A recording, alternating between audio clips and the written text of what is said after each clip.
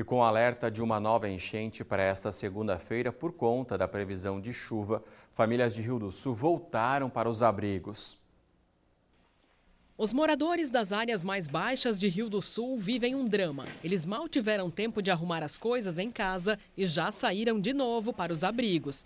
A orientação foi da Defesa Civil Municipal, que reabriu seis espaços comunitários ainda na tarde de ontem, já que há previsão de chuva até a noite desta segunda-feira e o rio pode transbordar novamente.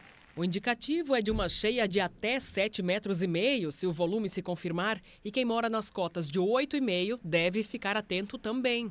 A gente tem uma expectativa de chuva de 40 até 70, 80 milímetros. Né? Nós vamos fazer plantão aqui ao longo das próximas horas, até porque essa expectativa de chuva até as 10 horas da noite de hoje, e a gente com isso vai fazendo uma leitura de como o rio vai se comportar. Né? Nós temos uma realidade, barragem é, de Itaió com as sete comportas fechadas, praticamente com 100% da, da capacidade de reservação. Nós temos Ituporanga com apenas duas comportas funcionando, infelizmente, três estão abertas né, apenas com 25% da capacidade. Então a gente tem que acompanhar como o rio vai reagir. Caminhões da prefeitura foram colocados à disposição para fazer as mudanças até os abrigos. Nesta manhã havia 74 famílias nesses locais, 265 pessoas ao todo.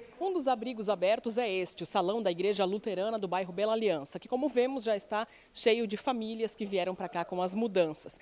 E quando elas conseguem sair assim, devagar, de forma organizada, vão ajeitando os pertences aqui de maneira a formar um cantinho, fechar um cantinho aqui para que possam ter um pouco de privacidade em meio a essa convivência coletiva.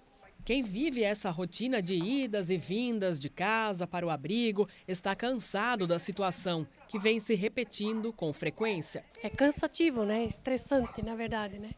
Porque ainda mais que a gente já está mais uma idade mais avançada, quando era mais nova, então era mais fácil. Mas está ficando cada vez mais difícil, cada vez mais cansativo e a gente às vezes tem hora que parece que não vai aguentar mais, né? Durante a manhã, o rio Itajaí-Açu ainda estava com 5 metros e meio, uma situação tranquila. E pelo que indica a previsão, a partir desta terça-feira, o tempo melhora. A partir da terça-feira, o tempo volta a ficar firme gradualmente e as temperaturas entram em declínio por conta do avanço de uma massa de ar seco e frio sobre o estado. Assim, os próximos dias devem ser mais frios, com temperaturas baixas pela manhã e sem subir muito no período da tarde. A dona Ermelinda e tantos outros moradores de áreas vulneráveis aguardam a construção de moradias populares pela Prefeitura com recursos anunciados pelo governo federal após as enchentes do ano passado. A gente até queria sair de lá, está esperando com, com, o prefeito, o governador, que eles vão conseguir casa fora da enchente, a gente está aguardando isso ansioso, né? Eu disse, tem gente que não quer, eu quero. Eu sou a primeira que sai de lá. pode me dar uma casinha, né, fora da enchente, que pode demolir a minha lá, que eu não me importo. Vou sair feliz da vida, soltando foguete.